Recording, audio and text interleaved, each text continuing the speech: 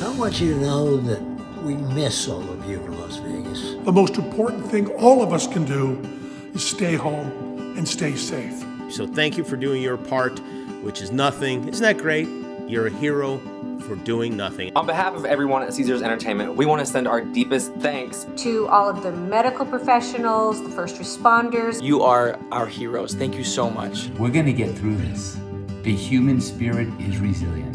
And when it's all over, we want to see you in Vegas and we are going to celebrate.